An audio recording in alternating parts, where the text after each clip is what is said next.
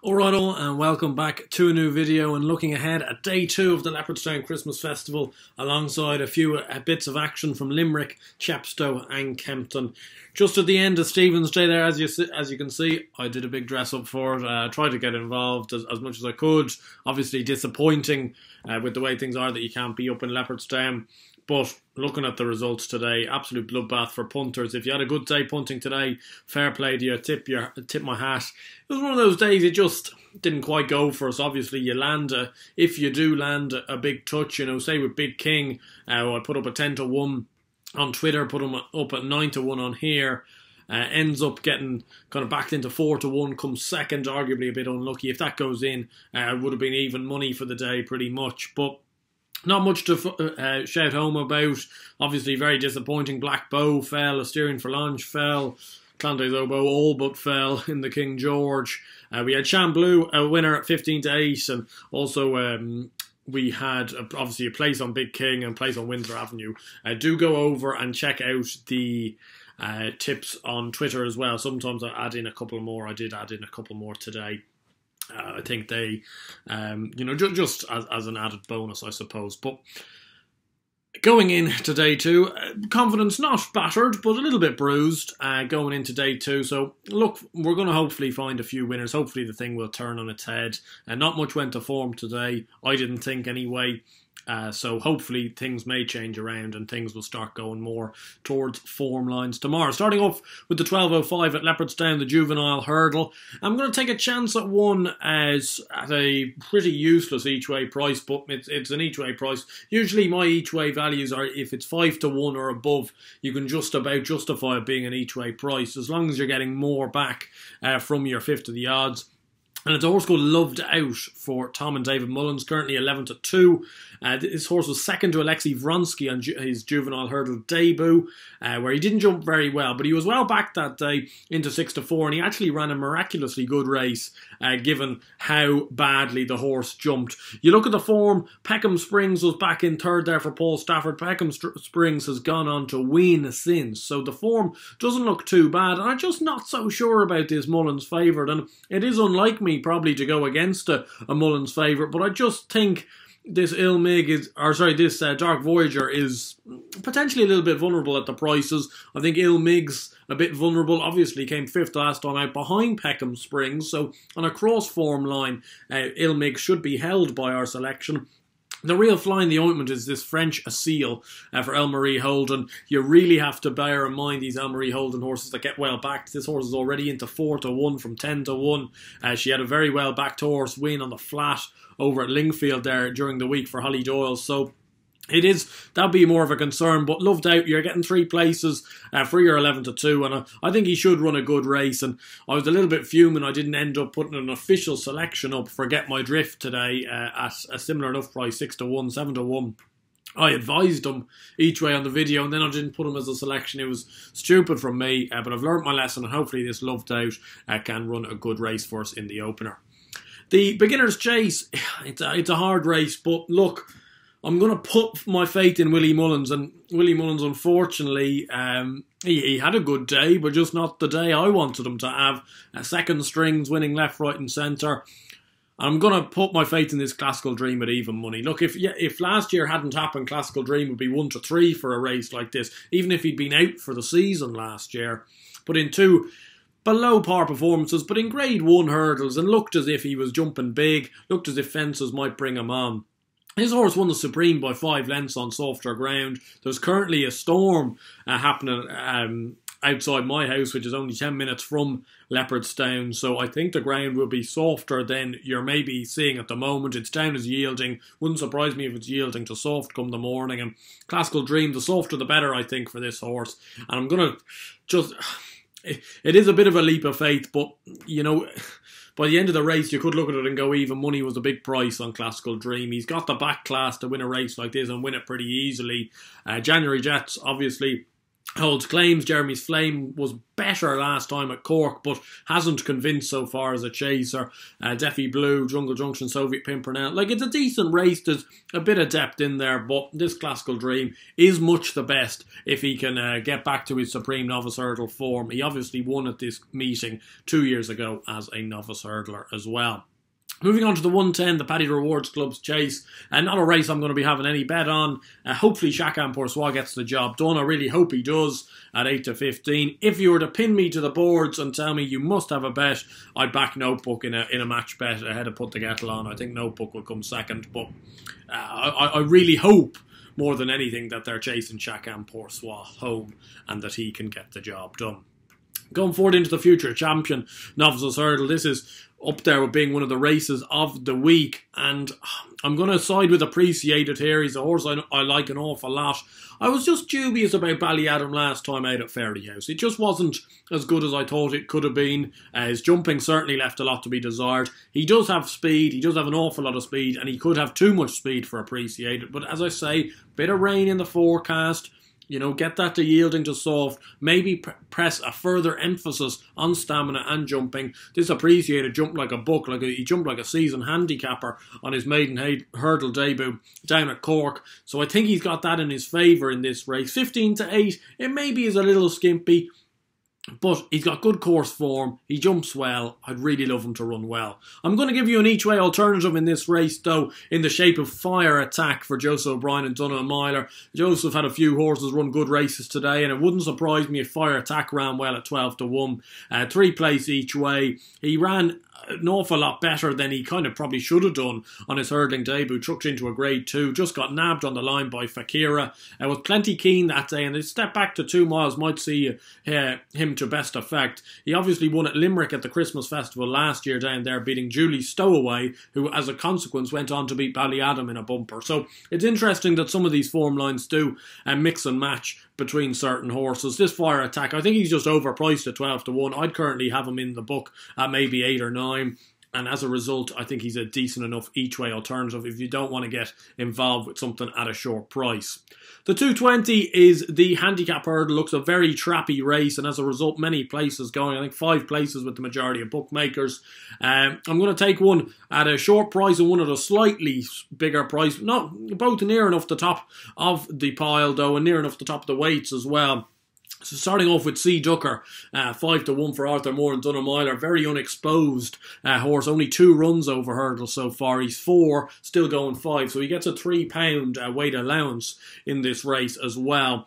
And just the form got a massive boost there today with Get My Drift winning the opener at Leopardstown. Uh, he beat him at Gowran Park when he was beating Galopin Des Champs, who was a pretty well regarded horse for Willie Mullins in Burning Victory's colours. Get My Drift was third and Mighty Blue was fourth. And Mighty Blue went on to finish second in a listed Mares Novice race to Galois last time out. So the form of that looks rock solid. In here off a mark of 132, I believe. And as I say, with the weight allowance, he's running in effect of what a 129 rated horse would have been running off in this race. So I think there's an awful lot going for him. He is second top in the betting there at five to one. He's he's been well found. There's no getting away from that. But I think he's got rock solid claims, and I can't see him out of the first five if his runs so far are anything to go by. I think he's just better than a horse of this grade.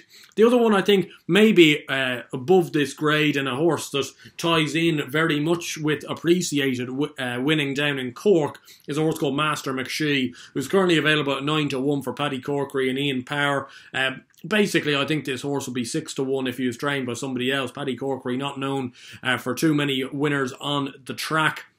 But he's got a nice horse here, and if Appreciated goes and wins the Grade One Novice Hurdle, this nine to one's not going to last any any matter of time for Master McShee. Uh, I think he's a, a, very good horse. He was second, only beaten two lengths by Appreciated. He then went went and won a maiden hurdle at Cork last time by eight lengths. The Mary Beach is running in a maiden hurdle at Limerick uh, tomorrow as well, a race that I'll actually cover later in the video. But his Master McShee, I think nine to one's fair. He too is running off a mark of 132. He doesn't get the four year old weight allowance, obviously, uh, so he's running off three pounds higher in the weights than Sea Ducor, even though they're off the same. Um, they're off the same rating in essence. So he does have a bit to fight. He's near enough the top of the weights, but nine to one, I think, is a very fair price about this horse, and it wouldn't surprise me if that price collapses. To be honest, uh, I think he's one of the stronger each way plays of the day, but I don't think you'd be doing too far wrong uh, going away from those two horses, Sea Ducor and Master McShee.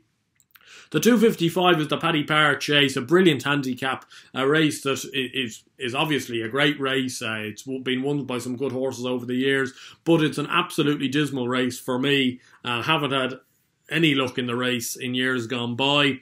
I had Cabaret Queen in the race last year, was my main fancy for it. She fell at three out when travelling oh so well. Uh, we wouldn't have known what would have happened there. But anyway, moving on to this year's renewal, hopefully we can turn the tide.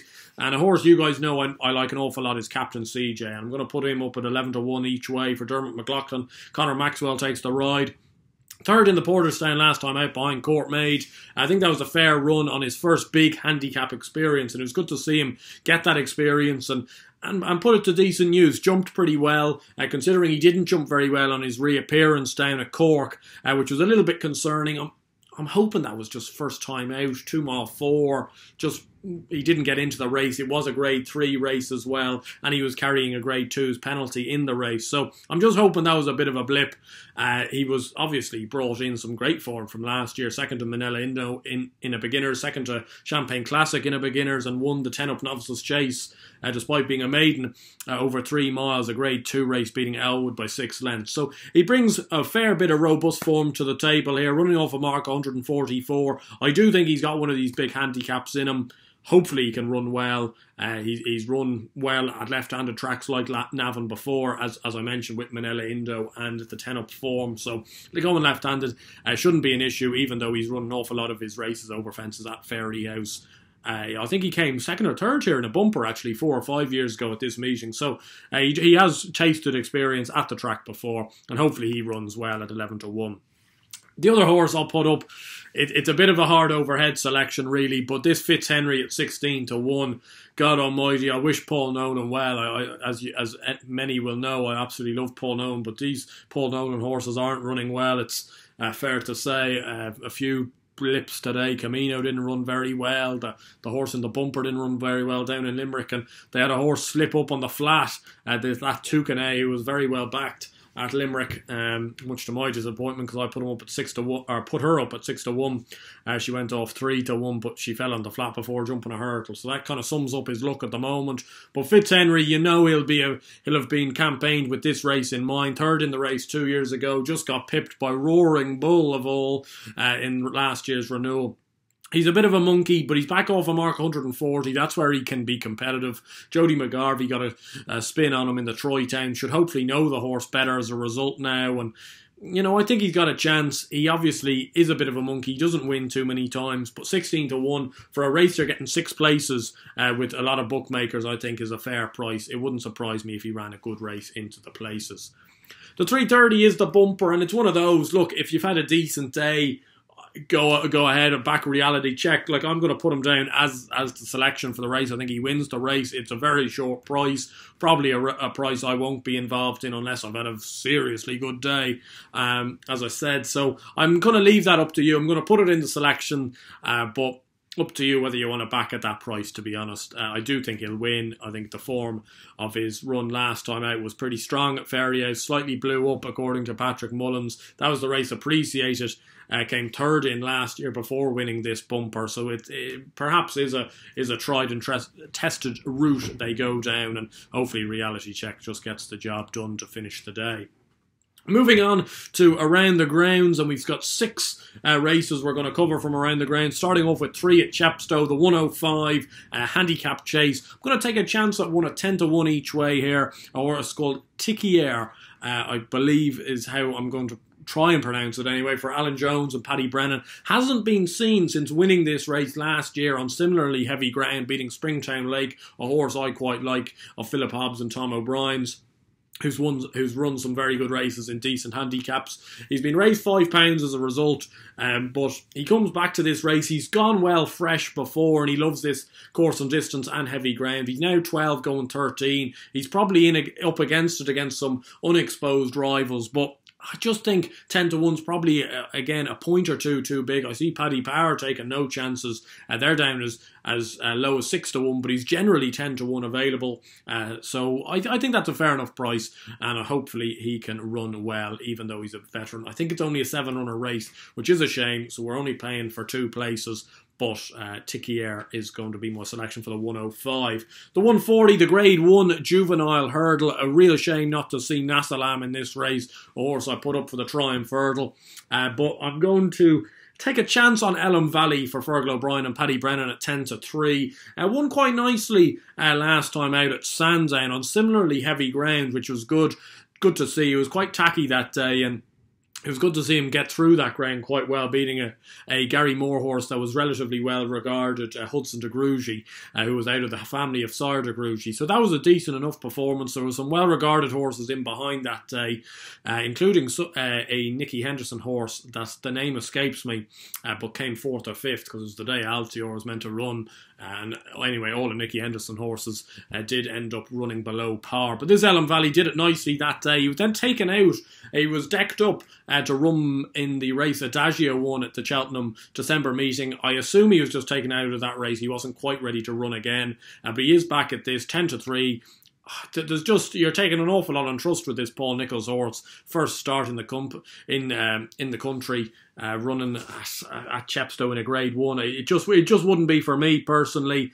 Uh, it's it's not a race that uh, has done much for me in the past. Allmankind won it last year brilliantly, but I don't know. I, I, I, would take a chance on Elham Valley at ten to three. I think he's the price uh, rather than this Hugri at seven to four. I think he's pretty short for a horse just coming over from France. You've no idea the quantity of that form as well. Moving on to the 250 at Chepstow, the big one, the Welsh Grand National. You guys know who I've put up uh, for this race. A horse called Dominator for Oliver Sherwood. He's in at 11 to 1. Uh, you can take 11 to 1 each way. I think that's still a fair price. I put him up at 25 to 1 as an early Christmas bet, both on Twitter and on here uh, in a video around 10 days ago. So 25 to 1 is the price I've taken. Uh, I think he's got a good chance if he jumps well. If he jumps well, if he jumps a little bit better, I suppose, than he has done in the past, I think he'll be bang there three and a half miles heavy ground is right up his street, I believe. Moving on to Kempton, just two, two at bigger prices as well. The 155 is a is a trappy enough mare's handicap hurdle, and I'll give a squeak uh, to Ollie Murphy's Alpha Carinae in here. Um, I just think she may be going under the radar off a mark 125. Look, she does have it to find, but she won very nicely on her hurdles debut up at think it was Musselburgh, uh, if uh, memory serves me correctly. And I just think since then it obviously hasn't gone quite to plan. Uh, sorry, it was at Perth, not Musselburgh, uh, where she won last time, or won on her hurdle debut. Then finished second at Market Rasen before disappointing behind the Glancing Queen at Warwick. She goes up in trip to three miles. I think that's a fair thing to do for this horse. I think she could see a bit more improvement uh, coming out of her at this uh, at this trip. Uh, sorry, she won a point to point in Ireland uh, over three miles. So really, she should be staying on uh, quite well. She should be suited by this big trip. Ollie Murphy not in the best of form, unfortunately, hasn't had a winner in the last two weeks, but hopefully that may change. And this Alpha Carinae, I think again she may be just a shade overpriced at twelve to one. And in the big one, the three hundred five, uh, the handicap chase. Well, sorry, the big betting race, not the big one. Uh, the big one, I think Shishkin will win. To be honest, and I think Altior will more than likely win. But both of them are not prices I'd take. Uh, 305 at Kempton, the big handicap chase. I'm going to give one last chance to double shuffle at 16 to 1 for Tom George and Gavin Sheehan off a mark 142. It's plummeted down now. He loves this course and distance. That's the main reason behind it. Uh, I think he's got a decent chance. If he replicates some of his best form at the track, he'd be bang there. He's now off a much reduced mark and could go well at a price. 16 to 1 does seem big. Four places with a lot of bookmakers. And moving on to Limerick, where the last selection of the day will come, and it is the nap of the day. Now, I would bear in mind with Limerick, I'm very dubious whether racing will go ahead at Limerick, to be honest, tomorrow. There's an awful lot of rain forecasted. It was already heavy ground. Uh, so it's just something to maybe bear in mind. But uh, if this uh, race is run, if this uh, card is run, I think this will be my nap of the day. Uh, it's an each way play in the 135, the mare's, or sorry, the 235, the mare's maiden hurdle over 2 mile 4, and it's a horse called Kilbree Warrior uh, for Oliver McKiernan. Brian Hayes takes the ride. She's 6 to 1. She was a point-to-point winner over three miles on soft to heavy ground uh, before finishing fifth in a maiden hurdle at Navan over two and a half miles in a uh, all all sex race. That race has taken form boost after form boost, including two form boosts today alone. Ashdale Bob won the race, has gone on to win a Grade Two. Wide receiver was second. My big uh, play for the Martin Pipe, who won the maiden hurdle at Leopardstown today, and Shadow Rider was third, who came uh, and won the maiden hurdle at Limerick today. So I think there's an awful lot to like about it. She ran very well for a long way. Uh, she was leading, disputing for the majority of the way. Ended up just getting uh, run out of it in the last little kind of last two, three furlongs of the race. Back to Mare's Company, two and a half miles, soft ground, does seem to suit. I think it's a race that's potentially exploitable, and 6 to 1 is my nap of the day, Kilbree Warrior.